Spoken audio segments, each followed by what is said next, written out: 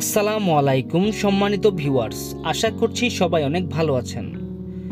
তো বরাবরের মতো আজকেও আমি আপনাদের মাঝে নতুন আরও একটি দুইতলা বাড়ি ড্রয়িং ডিজাইনের ভিডিও নিয়ে হাজির হয়ে গেছি। তো আজকের ভিডিওর টপিকটা হচ্ছে কীভাবে আপনারা অল্প খরচের মধ্যে দোতলা ফাউন্ডেশন দিয়ে একতলা কমপ্লিট করবেন। চারটি বেডরুম দুটি টয়লেট একটি কিচেন দুটি বারান্দা দিয়ে অসাধারণ চমৎকার একটি বাড়ি নির্মাণ করবেন। তো বন্ধুরা, এখন পর্যন্ত এ বাড়িটিতে কত টাকা খরচ হয়েছে এবং এই বাড়িটি পুরোপুরি কমপ্লিট করতে কত টাকা খরচ হবে? এই বাড়িটির ড্রয়িং প্ল্যান কীভাবে করা হয়েছে? ইনশাল্লাহ এ টু জেড বিস্তারিত আমি আপনাদের মাঝে একে একে উপস্থাপন করব। তো আশা করছি আপনারা যারা এরকম দোতলা ফাউন্ডেশন দিয়ে একতলা কমপ্লিট করবেন, তারা এই ভিডিও ভিডিওটি না সম্পূর্ণ দেখলে এ বাড়ির সম্পর্কে একটি খরচের হিসাব বা একটি আইডিয়া নিতে পারবেন। তো চলুন আমরা ড্রয়িংটি দেখে আসি, তারপর আমরা বিস্তারিত আলোচনা করব। তো বন্ধুরা, দেখতে পাচ্ছেন, এটি হচ্ছে আমাদের মূলত এই বাড়িটির ড্রয়িং। আপনারা ড্রয়িং প্ল্যানটি সুন্দরভাবে মনোযোগ সহকারে বুঝে নেবেন। তো এ বাড়িটির দৈর্ঘ্য রাখা হয়েছে, তেত্রিশ ফিট এবং ফস্ত রাখা হয়েছে, তেত্রিশ ফিট টোটালি। এক হাজার উনানব্বই স্কোয়ার ফিট জায়গার মধ্যে পুরো বাড়িটি করা হয়েছে। তো এ বাড়িটিতে মোট চারটি বেডরুম রাখা হয়েছে, আপনারা দেখতে পাচ্ছেন। তো সামনের একটি বেডরুম ড্রয়িং রুম হিসেবে ব্যবহার করা হবে, সেটা অবশ্য আপনারা দেখতে পাচ্ছেন। তো মূলত বেডরুম চারটা, ওখান থেকে তিনটি বেডরুম রাখা হচ্ছে এবং এটি ড্রয়িং রুম হিসেবে ব্যবহার করা হবে। তো সামনের দুটি রুমের সাইজ রাখা হয়েছে, এগারো ফিট আট ইঞ্চি বা পনেরো ফিট ছয় ইঞ্চি এবং আরেকটি বেডরুমের সাইজ রাখা হয়েছে এগারো ফিট আট ইঞ্চি বা বারো ফিট এক ইঞ্চি। তারপরে পিছনের দুটি বেডরুমের সাইজ রাখা হয়েছে এগারো ফিট আট ইঞ্চি বাই তেরো ফিট করে এবং আরও একটি বেডরুমের সাইজ রাখা হয়েছে এগারো ফিট আট ইঞ্চি বাই এগারো ফিট এক ইঞ্চি করে। তো বন্ধুরা, সামনে দুটি ব্যালকনি রাখা হয়েছে, এগারো ফিট দশ ইঞ্চি বাই তিন ফিট করে এবং সিঁড়ি রুমটা সাইজ রাখা হয়েছে পনেরো ফিট বাই আট ফিট করে।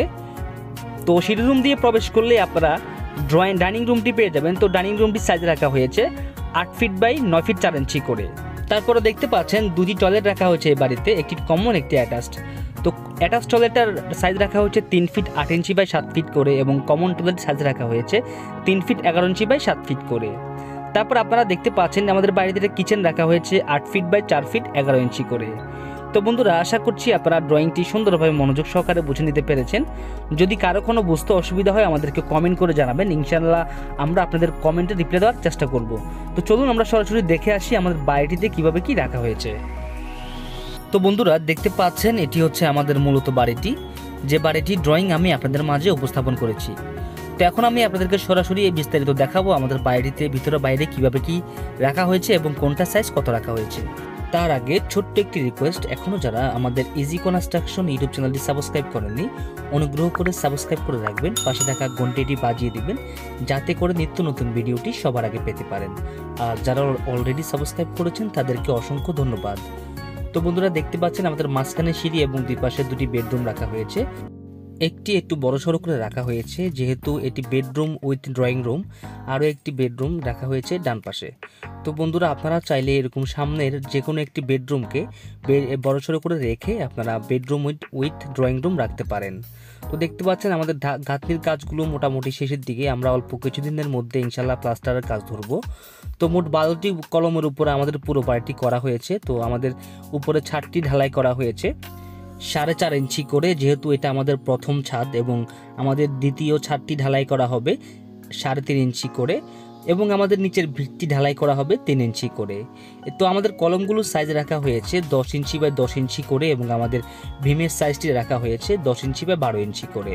তো বন্ধুরা, আশা করছি আপনারা মনোযোগ সহকারে বুঝে নিতে পারছেন। তো আপনারাও অল্প খরচে অল্প জায়গার মধ্যে চাইলে এরকম চারটি বেডরুম করে নিতে পারেন। তো তার জন্য আপনারা চাইলে আমাদের ডিজাইনটি এবং আমাদের ভিডিওটি মনোযোগ সহকারে বুঝে নেবেন। যদি আপনাদের বুঝতে কোনো সমস্যা হয়, আমাদেরকে কমেন্ট করে জানাবেন। ইনশাল্লাহ আমরা কমেন্টের মাধ্যমে কমেন্টের রিপ্লাইয়ের মাধ্যমে আপনাদেরকে বুঝিয়ে দেওয়ার চেষ্টা করব। তো বন্ধুরা, আমাদের এটি হচ্ছে একটি কিচেন রুম আপনারা দেখতে পাচ্ছেন আমাদের কিচেন রুমটার মধ্যে চারটি শেলফ বা তাক ঢালাই করা হয়েছে। তো আপনারাও চাইলে এরকম সুন্দর করে আপনাদের কিচেন রুমে এবং ভিতরের রুমে তাক বা শেলফ ঢালাই করে নিতে পারেন। তো আমাদের বাড়িটির দরজার সাইজ রাখা হয়েছে সাত ফিট বাই তিন ফিট এবং জানালার সাইজ রাখা হয়েছে চার ফিট বাই সাড়ে চার ফিট করে। তো বন্ধুরা, আপনাদের উদ্দেশ্যে আমি আরও একটি কথা বলতে চাই আপনারা যারা সারা জীবনের সঞ্চয় দিয়ে একটি স্বপ্নের বাড়ি নির্মাণ করবেন ভাবছেন, তারা বাড়ি করার আগে বাড়ির ড্রয়িং ডিজাইনটি দক্ষ ইঞ্জিনিয়ার অথবা দক্ষ কন্ট্রাক্টর দ্বারা করিয়ে নেবেন। তো বাড়ির ড্রয়িং ডিজাইনটি করিয়ে নিলে আপনাদের দুটি উপকার হবে। একটি হচ্ছে আপনাদের বাড়ির খরচটি আপনারা উনিশ বিশ হলেও একটা অ্যাকুরেট খরচ পেয়ে যাবেন। আরেকটি হচ্ছে আপনাদের বাড়ির সৌন্দর্যটা নষ্ট হবে না, যদি ড্রয়িং অনুযায়ী কাজগুলো করানো হয়। আর ইঞ্জিনিয়ার সাহেব যে খরচটি আপনাদেরকে বলবে, তার থেকে দুই এক লক্ষ টাকা বেশি রাখার চেষ্টা করবেন, যাতে করে আপনারা কাজের শেষের দিকে আপনারা ওই টাকাটা দিয়ে কোনো একটা কাজে লাগাতে পারেন। তো বন্ধুরা, আমরা ড্রয়িং ডিজাইন করে থাকি, আপনারা চাইলে আমাদেরকে দিয়েও ড্রয়িং ডিজাইন করাতে পারেন। তো ড্রয়িং ডিজাইন করাতে চাইলে স্ক্রিনে দেওয়া নাম্বারে ফোন করতে পারেন। তো এখন পর্যন্ত আপনারা দেখতে পাচ্ছেন আমাদের বাড়িতে খরচ হয়েছে সাত লক্ষ তিরিশ হাজার টাকা। তো দেখতে পাচ্ছেন সাত লক্ষ তিরিশ হাজার টাকা দিয়ে আমাদের বাড়ির কাজ। উপরে একটি ছাদ দিয়ে এবং আমাদের নিচে ঘাতনির কাজ ইনশাল্লাহ করতে পেরেছি। তো আমরা আশা- করছি পুরো বাড়িটি দোতলা ফাউন্ডেশন দিয়ে একতলা কমপ্লিট করতে আমাদের খরচ হবে সতেরো থেকে আঠারো লক্ষ টাকা। তো বন্ধুরা, সতেরো থেকে আঠারো লক্ষ টাকা হলে আপনারা এরকম একটি বাড়ি দোতলা ফাউন্ডেশন দিয়ে একতলা কমপ্লিট করে ফেলতে পারবেন। তো ভিডিওটি কেমন হলো অবশ্যই আমাদেরকে কমেন্ট করে জানাবেন। যদি কোনো টপিক মিস করে থাকি, তাও আমাদেরকে কমেন্ট করে জানাতে ভুলবেন না। আসসালামু আলাইকুম।